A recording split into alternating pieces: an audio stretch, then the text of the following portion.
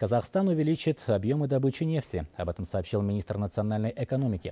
Между тем, эксперты прогнозируют снижение стоимости барреля черного золота до 63 долларов в следующем году.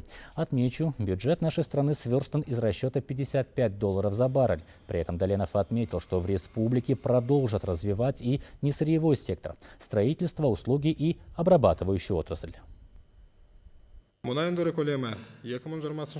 Объем добычи нефти увеличится с 90 миллионов тонн в 2020 году до 100 миллионов тонн в 2024. Увеличение добычи будет за счет расширения месторождений Тенгиз, Карачагана, Кашаган и ввода в эксплуатацию морских месторождений.